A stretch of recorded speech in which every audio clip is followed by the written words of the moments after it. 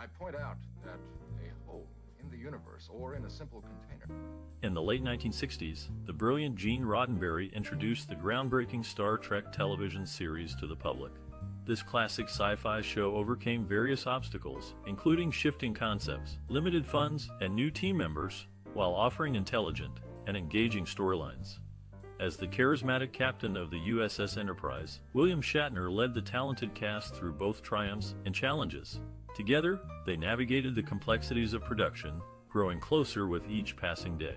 Undoubtedly, the enduring legacy of Star Trek can be attributed to its compelling narratives and the dedication of its exceptional crew. Please, Mr. Fox. Ladies and gentlemen, please move quickly away from the chamber or you may be injured.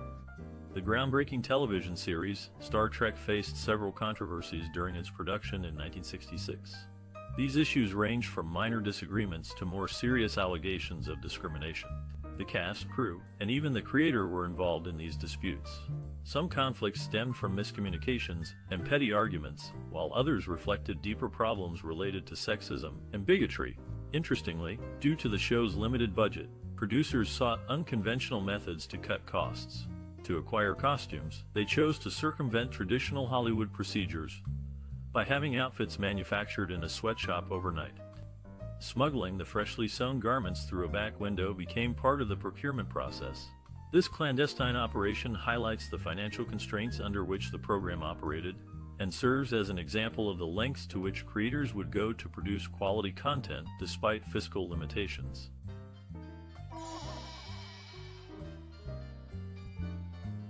In creating the iconic television series Star Trek, Gene Roddenberry made a notable decision regarding the cast. Initially, he introduced a female character named Number One, who exhibited a logical and emotionally detached personality. However, Roddenberry ultimately opted to keep the Vulcan character, Spock, and bestowed upon him these same traits originally portrayed by Number One. This choice significantly impacted the dynamic of the crew aboard the USS Enterprise. The development of Star Trek was fraught with various challenges and controversies throughout its existence. Among them were subtle references to contemporary issues like the ongoing Vietnam War, which managed to slip past network censors despite their strict guidelines during that era. These underlying commentaries contributed to the rich tapestry woven into the fabric of the series, making it appealing and thought provoking for audiences. As production continued, tensions sometimes escalated between Roddenberry and executives due to disagreements concerning storylines and content. Despite objections, Roddenberry persisted in incorporating his vision into the show, leaving behind a captivating legacy that continues to resonate even today. Throughout its run, Star Trek tackled complex themes while providing viewers with engaging narratives set against the backdrop of space exploration. With each episode, the audience stepped into a fascinating universe filled with intriguing characters and gripping tales, forever etching itself into the annals of TV history. Even now, many years after its initial air date, fans continue to cherish this classic and appreciate the indelible mark it has left on popular culture. Chaplain, Doctor, there is more of an enemy entwined all through his body. Miss Chapel, if you cannot assist me as required. In the creation of the iconic 1966 TV series Star Trek, William Shatner, who played the lead role of Captain Kirk, made some notable requests. He asked for a bigger font size for his name in the opening credits and more lines in the script. This reduction in dialogue for other characters was granted, making Shatner's presence more prominent in the series. The writing process for Star Trek was fraught with challenges. Many professional writers struggled to understand the complexities of science fiction required for the show. As a result, creator Gene Roddenberry had to look beyond traditional sources for scripts. He turned to writers from science fiction magazines and even enlisted help from office staff members to ensure the content met the standards he envisioned for this classic series. Yet we have analyzed you and have learned that your violent tendencies are in Gene Roddenberry, the creator of the iconic 1966 TV series Star Trek, had a reputation for meticulously revising scripts to align with his vision. This often led to the removal of concepts that he found disagreeable. One notable example can be seen in the episode The Enemy Within, where a controversial scene featuring an antagonistic version of Captain Kirk confronting Janice Rand about her feelings was criticized for being out of character and tactless. Harlan Ellison, one of the screenwriters who worked on the show, was so disappointed with Roddenberry's alterations to his original script that he requested a pseudonym to be used in the credits. Despite these challenges, the show gained popularity over time and has since become a beloved classic among sci-fi enthusiasts. It is worth noting that while Roddenberry's heavy hand in revising scripts caused frustration for some writers, it ultimately helped shape the show into what it became.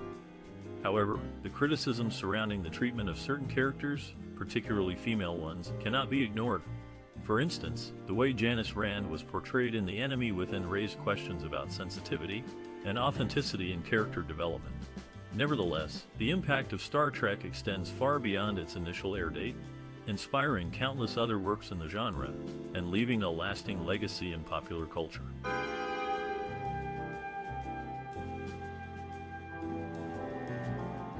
However, the production of the show was not just about groundbreaking storytelling and special effects. It was also marked by personal relationships and struggles behind the scenes. Gene Roddenberry, the creator of the series, had affairs with cast members Majel Barrett and Nichelle Nichols during the show's run. His relationship with Barrett, who played Nurse Chapel, developed into a deeper bond that led to their marriage after Roddenberry divorced his first wife. This connection added a layer of complexity to the dynamics on set, as their personal lives intertwined with the production. Meanwhile, Leonard Nimoy, who portrayed Spock, faced his own challenges. The intense public scrutiny weighed heavily on him, leading to difficulties with alcohol. Despite these personal battles, Nimoy maintained a strong sense of professionalism while on set. He committed himself to his role, often pushing through the struggles that came with fame. His ability to deliver a powerful performance in the face of adversity endeared him to fans and colleagues alike, even as he navigated the pressures of his public persona. Order, Captain. Bring it to the briefing room. Are you ready, gentlemen? In the creation of the iconic TV series Star Trek, composer Alexander Courage made a significant agreement with producer Gene Roddenberry. Courage allowed Roddenberry to share in the royalties for the show's memorable theme music, even though Roddenberry contributed unsuitable lyrics. This decision led to Roddenberry receiving half of the royalties, despite his limited involvement in the musical aspect of the show. The network behind the series, NBC, also played a role in shaping the fate of Star Trek. Despite the show's growing fanbase, NBC moved it to a less desirable time slot, which negatively impacted its viewership. Additionally, the network slashed the show's budget, making it difficult for the production team to create high-quality episodes. These actions have fueled speculation among fans and industry professionals alike that NBC may have intentionally tried to sabotage the program. Despite these challenges, Star Trek has left a lasting legacy in the world of television and popular culture. Its themes of exploration, diversity, and cooperation continue to resonate with audiences today, and the show's influence can be seen in numerous spin-offs, films, and other media. Whether through the lens of this classic series or its many successors, the values and ideals presented by Star Trek remain relevant and inspiring to viewers around the globe. Preacher. Yes, Captain. Or he is. In the creation of the iconic TV series Star Trek, William Shatner, who played Captain Kirk, unfortunately did not attend Leonard Nimoy's funeral, even though they had reconciled prior to Nimoy's passing. This fact might surprise some fans, as the two actors were famously close during the show's run and in later years. Moving on to the origins of Star Trek, it is worth noting that the initial pilot episode, titled The Cage, faced rejection due to its complexity and the presence of a female second in command, which led to substantial modifications before the series entered production. These alterations significantly shaped the direction of the show and set the stage for the adventures we now associate with the crew of the USS Enterprise. Although The Cage didn't resonate with network executives, the cast and premise held promise. Consequently, several elements were revised, including recasting Majel Barrett as Nurse Chapel after her portrayal of Number One. The original female second in command proved divisive among decision makers. Additionally, the storyline underwent simplification to make it more accessible to broader audiences. These early challenges ultimately contributed to the development of one of television's most cherished classics. Despite the rough start, Star Trek persevered, leaving an indelible mark on both science fiction and popular culture through engaging narratives and memorable character dynamics. For the same reason tonight. Listen to me. He's humanoid. When Star Trek first aired in 1966, it quickly gained a devoted following, Although the original series only ran for three seasons, its influence reached far beyond its initial run. The show became a cultural phenomenon, inspiring numerous spin offs, movies, and even theme park attractions. The show's diverse cast and progressive themes resonated with audiences, addressing topics such as civil rights, women's liberation, and environmentalism before they were widely discussed in mainstream media. This made Star Trek groundbreaking for its time and helped establish science fiction as a genre worthy of serious consideration. Following the success of the original series, several spin offs emerged, including Star Trek The Next Generation, Deep Space Nine, Voyager, and Enterprise. These shows continued the adventures of various Starfleet crews, exploring new worlds and encountering new species. In addition to these television series, there have been 13 feature films based on the franchise, with more planned for release in the coming years. Merchandising has also played a significant role in extending Star Trek's reach. From action figures to board games, books to clothing lines, fans can engage with their favorite aspects of the universe outside of traditional viewing experiences. A thriving convention scene has developed around the property, allowing enthusiasts to gather together and celebrate all things Star Trek. Moreover, Star Trek has left an indelible mark on popular culture, influencing countless works of art across multiple mediums. Its distinctive visual style, memorable catchphrases, and iconic characters have become instantly recognizable shorthans for both dedicated followers and casual observers alike. By presenting a hopeful vision of humanity's future, this classic TV series continues to inspire generations of creators, thinkers, and dreamers. As we look forward to what comes next for the storied franchise, it's clear that Star Trek's legacy will continue to shape our collective imagination for many years to come. With each iteration, new viewers discover the joy and wonder of exploration, reminding us all why this timeless tale remains so captivating. Whether through boldly going where no one has gone before, or by simply appreciating the adventure from the comfort of home, Star Trek invites everyone to share in its ongoing journey toward infinite diversity and infinite combinations.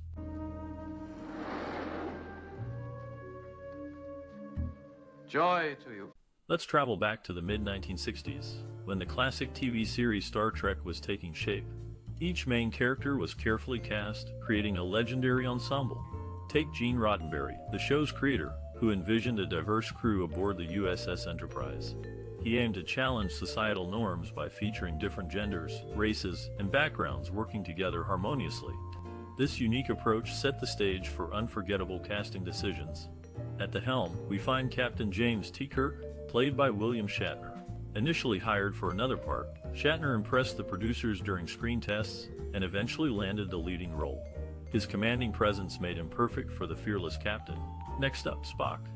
Leonard Nimoy brought logic and wisdom to his portrayal of the half-human, half-Vulcan science officer. Interestingly enough, Nimoy had previously turned down roles in two earlier pilots directed by Roddenberry. Persistence paid off, though, as he finally accepted the iconic role that would define his career. DeForest Kelley joined the cast as Dr. Leonard McCoy, the chief medical officer. Known for his work on Western films, Kelley initially hesitated to join the sci fi genre. Thankfully, he changed his mind after meeting the rest of the cast and realizing the potential impact of the series. Nichelle Nichols took on the groundbreaking role of Uhura, one of the first African American women to hold a prominent position on television. In fact, Martin Luther King Jr., inspired by her performance, encouraged her to stay on the show despite considering leaving early in its run. James Doohan became Montgomery Scott, the Scottish chief engineer known for exclaiming, I can't change the laws of physics. Originally auditioning for various other parts, including Sulu, Doohan demonstrated versatility and adaptability before finding his niche as Scotty. George Takei embodied Mr. Hikaru Sulu, the talented Asian American navigator. With limited lines and opportunities compared to his fellow actors, Takei still managed to craft a memorable character cherished by fans worldwide. Lastly, Walter Koenig completed the primary cast as Pavel Chekov, the youngest member of the team. Added later in the series due to popularity among teenage viewers, Koenig contributed youthful energy that enriched the dynamic of the group. These actors, assembled through a combination of talent hunts, chance encounters, and persistence, formed the beloved original crew of the Starship Enterprise. Truly a testament to visionary thinking and inclusive storytelling. What happened to him? Uh, nothing happened to him, Captain. Gene Roddenberry, the creator and primary director of Star Trek, had a clear vision for the show. He aimed to create a positive and optimistic view of the future, where diverse races and cultures could work together towards peaceful exploration. This vision was influenced by his own experiences as a World War II pilot and later as a police officer. Roddenberry wanted to explore social issues through the lens of science fiction. To bring his vision to life, Roddenberry employed a unique filming style. He used a documentary style approach, which gave the show a sense of realism and immediacy. The camera often moved quickly, capturing the action as it happened. This style helped to immerse viewers into the world of Star Trek and made them feel like they were part of the adventure. Collaboration was also key to Roddenberry's success. He worked closely with the cast and crew, encouraging them to contribute their ideas and suggestions. This created a supportive and creative environment where everyone felt invested in the success of the show. One notable collaboration was between Roddenberry and set designer Matt Jefferies. Together, they designed the iconic USS Enterprise, which became synonymous with the show. They drew inspiration from modern aircraft carriers and jet fighters, creating a sleek and futuristic design that captured the imagination of audiences around the world. The casting process was equally collaborative. Roddenberry sought out actors who could bring depth and complexity to their roles. Leonard Nimoy, who played Spock, was initially hesitant about taking the role. However, after meeting with Roddenberry and discussing the character's backstory and motivations, he agreed to take the part. This commitment to character development helped to make Star Trek a beloved and enduring classic. I'm walking out of order. Good. Contact me when you can. Kirk out. Let's journey back to the mid 1960s, where television was on the cusp of something truly groundbreaking. The set of Star Trek, a show that would become iconic, was being constructed, piece by painstaking piece. The designers had their work cut out for them, they needed to create a universe unlike anything viewers had ever seen before. They started with the USS Enterprise's bridge, which became both functional and visually stunning. A mix of modern technology and futuristic elements created an unforgettable setting. The show also took advantage of innovative techniques like rear projection and optical effects to simulate space travel and alien worlds. These methods allowed them to tell stories that stretched beyond traditional soundstage limitations. However, these innovations came with their own set of challenges. For instance, combining live action with visual effects often resulted in lengthy shoots and complex post-production processes. Star Trek didn't shy away from ambitious location shooting either. Scenes were filmed in various spots around Southern California, including Vasquez Rocks Natural Area Park, which served as the backdrop for numerous planetary excursions. Navigating these outdoor environments presented unique hurdles related to weather, permits, and coordinating cast and crew schedules. Despite these obstacles, the team persevered, delivering a series that has left an indelible mark on science fiction and popular culture. Its influence can still be felt today, resonating through countless spin-offs, films, and even inspiring real-world scientific advancements. My father'll be glad to put you up, though. The musical score and soundtrack of the iconic 1966 TV series Star Trek were crucial in setting the mood and enhancing the show's futuristic setting. Alexander Courage, the primary composer, created a memorable main theme that captured the spirit of exploration and adventure. His innovative approach blended traditional orchestral sounds with electronic elements, resulting in a unique audio experience that captivated audiences. Courage drew inspiration from various sources while crafting his masterpiece. For instance, he incorporated fanfares reminiscent of classical military marches, which paid homage to the show's space opera roots. Simultaneously, he experimented with unusual instruments like the theremin, lending an otherworldly quality to the music. This fusion perfectly encapsulated the blend of human curiosity and technological marvel found throughout the series. Another significant contributor was Gerald Fried, who composed several action cues and dramatic scores during the first season. One notable example is his piece for the episode Amok Time, where he used exotic instrumentation including sitars and drums to underscore Spock's Pon farr ritual. These choices added depth and cultural richness to the fictional universe depicted on screen. Composers often work closely with producers and directors to tailor their work to specific scenes and storylines. Music became an integral part of shaping each character's personality and advancing plot development. Take, for instance, the love theme developed for Captain Kirk and Edith Keeler in the episode The City on the Edge of Forever. Composer Fred Steiner carefully constructed a tender melody played by strings, evoking feelings of warmth and nostalgia associated with their bittersweet romance. Despite budget constraints and tight production schedules, these talented individuals managed to produce high quality, engaging music week after week. Their efforts significantly contributed to the lasting legacy of Star Trek, ensuring its place in television history. To this day, listeners continue to appreciate the artistry behind the original series score, proving its timeless appeal and influence over generations of viewers and musicians alike.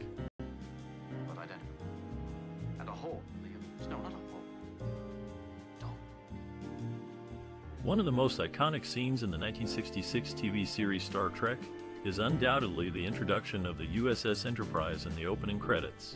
As the starship soars over the camera, viewers get a thrilling sense of its vast size and power. This scene sets the stage for the entire series, establishing the show's focus on space exploration and adventure. The episode The City on the Edge of Forever, often considered one of the best in the series, features another unforgettable moment. Captain Kirk and Mr. Spock travel back in time to 1930s America, where they meet Edith Keeler, played by Joan Collins.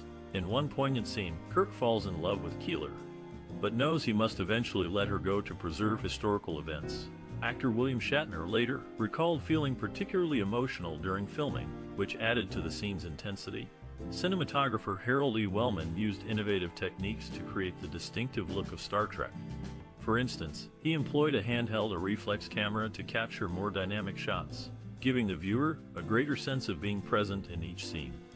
This approach was unusual for television at the time and helped distinguish Star Trek from other shows. These iconic scenes have had a lasting impact on audiences, inspiring generations of fans, and contributing to the enduring popularity of the franchise. Many elements of Star Trek, including its diverse cast, thoughtful storytelling, and groundbreaking special effects, continue to resonate today. Make him live any place, any time, any situation they wished. Without a doubt, the 1966 TV series Star Trek left an indelible mark on popular culture and sparked conversations surrounding various social and cultural issues. This groundbreaking show presented a future where diversity was celebrated and human potential was limitless, striking a chord with many viewers. The diverse cast, headed by William Shatner as Captain Kirk and Leonard Nimoy as Spock, brought together individuals from different backgrounds. Audiences were introduced to a Russian crew member, an Asian helmsman, and a black female communications officer, all working harmoniously toward a common goal. Such representation broke barriers during a time when racial tensions ran high, contributing to thoughtful dialogues about equality and unity. Moreover, the character of Uhura, played by Nichelle Nichols, became a symbol of progress. She wasn't just another supporting actor, but held a prominent position as a bridge officer communicating with other spaceships. Her role served as inspiration for numerous women, including Dr. Mae Jemison, who later became the first African American woman astronaut. Star Trek also tackled societal dilemmas through allegorical storytelling. For instance, episodes like Let That Be Your Last Battlefield mirrored real world struggles against racism, while exploring themes of war, peace, and understanding between disparate groups.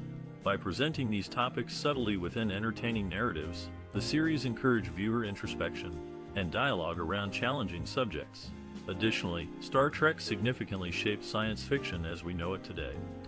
Before its advent, sci fi often focused on isolated explorers encountering strange new worlds. However, Star Trek shifted the narrative towards collective exploration and cooperation among species, a vision echoed in subsequent productions like Star Wars, Battlestar Galactica, and Firefly. While Star Trek initially struggled in ratings and faced cancellation after three seasons, its influence persisted thanks to syndication and devoted fanbase known as Trekkies. Over five decades since its debut, its legacy continues to thrive through multiple spin off shows, films, books, and even merchandise, inspiring generations to explore space, engage with complex ideas, and appreciate our shared humanity. Gentlemen, I have seen what the Klingons do to planets. Upon its release in 1966, the television series Star Trek was met with mixed reviews. Some critics praised the show's innovative concepts and diverse cast, while others criticized it for being too cerebral and intellectual. Notably, Jack Gould of the New York Times described the series as a thinking man's outer space adventure. Audiences were also divided, but many found themselves drawn into the futuristic world of the Starship Enterprise and its crew. The show gained a dedicated following, known as Trekkies, who appreciated the optimistic vision of the future presented in Star Trek. They admired the camaraderie among the diverse crew members and celebrated the show's themes of exploration, cooperation, and inclusion. Despite initial uncertainty about its appeal, Star Trek quickly became a cultural phenomenon. Gene Roddenberry's creation went on to receive several award nominations during its original three-season run. Among them were two Emmy Award nominations for Outstanding Dramatic Series in 1967 and 1968. Leonard Nimoy, who played the beloved half-Vulcan character Spock, earned three Emmy nominations for his performance between 1967 and 1969. The significance of these accolades cannot be overstated. For the creators and actors involved, they served as validation for their hard work and dedication to the project. These achievements helped establish Star Trek as more than just another science fiction program. It had become a respected part of the broader TV landscape. Moreover, winning acclaim against other high-profile dramas demonstrated that intelligent storytelling could resonate with audiences and secure industry recognition. These early successes laid the groundwork for the franchise's lasting impact on popular culture. Over five decades since its debut, Star Trek has expanded beyond television, spawning multiple feature films, animated series, merchandising opportunities, and even theme park attractions. Its influence can be seen across various media formats and entertainment industries worldwide. Clearly, the critical reception and awards bestowed upon the original Star Trek series hold immense value, both historically and culturally.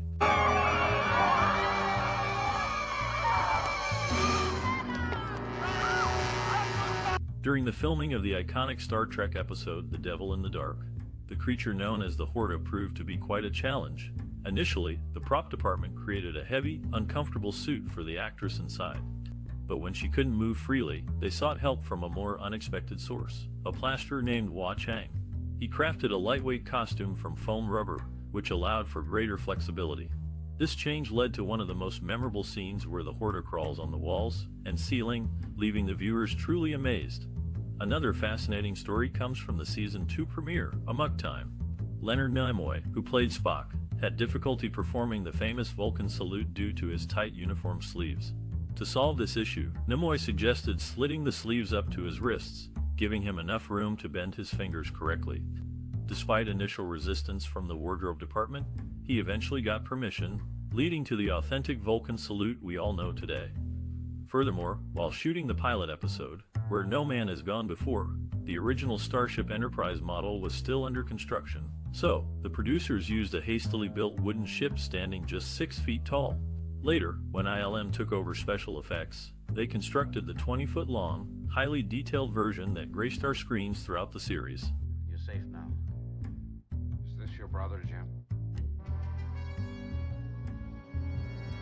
Without a doubt, Star Trek left a significant mark on television and film history when it first aired in 1966. This groundbreaking series presented a hopeful vision of the future, where diverse cultures came together in peaceful exploration. Its innovative storytelling paved the way for modern science fiction. The original show's unique take on space travel and alien encounters captivated audiences, eventually inspiring a franchise that includes multiple spin-off TV series, films, and a vast range of merchandise. One cannot understate the importance of Star Trek in shaping the genre and pushing technological boundaries. In terms of filmmaking, Star Trek broke new ground by employing then cutting-edge special effects techniques. For instance, the famous Starfield visual effect was created using slit scan photography, a method rarely seen before. These pioneering efforts influenced many later productions, demonstrating how even seemingly minor innovations can significantly impact the industry. Moreover, Star Trek served as a springboard for numerous successful careers both in front of and behind the camera. Actors like William Shatner, Leonard Nimoy, and George Takei became household names, while others involved in the production moved on to prominent roles elsewhere in Hollywood. Additionally, countless writers, directors, and producers credit Star Trek as their inspiration for entering the entertainment business. As far as cinematic adaptations go, the first Star Trek movie debuted in 1979, nine years after the initial run of the series had ended. Since then, 10 more feature films have been released, with another one currently in development. Each installment has contributed to maintaining the franchise's relevance and popularity over the decades. Among these films, Star Trek II The Wrath of Khan stands out as particularly influential. Directed by Nicholas Meyer, this entry is often regarded as the best of the bunch due to its thrilling narrative, strong character development, and thematic depth. Many fans consider it the gold standard against which all other Star Trek movies are measured. Another notable aspect of the Star Trek phenomenon lies in its ability to inspire generations of creatives across various mediums. From literature to video games, the franchise's rich universe provides ample material for artists and designers to draw upon. Furthermore, real-world scientific advancements can trace their origins back to concepts initially introduced through Star Trek. All things considered, it is evident that Star Trek, which premiered in 1966, continues to hold sway over popular culture and creative expression. With each passing decade, new audiences discover the joy of exploring strange new worlds, seeking out new life and civilizations, and boldly going where no one has gone before. And so, the legacy of Star Trek lives on, resonating deeply within the annals of film history. They will be posted. Violation of the smallest of them. Without a doubt, the original Star Trek series from 1966 holds a special place in many people's hearts. Did you know that Gene Roddenberry, its creator, was a former pilot who drew inspiration for the show from his love of science fiction? This groundbreaking series broke barriers by featuring one of television's first ethnically diverse casts and tackling social issues of the time through engaging stories set in space. The show has left an indelible mark on popular culture and even inspired real scientific advancements. Many astronauts, engineers, and scientists have cited Star Trek as a significant influence on their career choices. But what about you? How did this iconic series affect your life? Were you captivated by Captain Kirk's courage or Spock's logical thinking? Or perhaps Uhura's trailblazing role as a woman of color in a position of authority resonated with you? Whatever it may be, we would love to hear your personal stories and reflections on the lasting impression that Star Trek made on you. If you feel so inclined, please share your favorite episode, character, or memory in the comments below. Let us know if Star Trek played a part in shaping your interests, values, or career path. Your insights might inspire others, don't forget to like and share this post to keep the conversation going. And while you're here, why not consider subscribing to our channel for more exciting discussions on classic TV, shows that continue to touch lives today.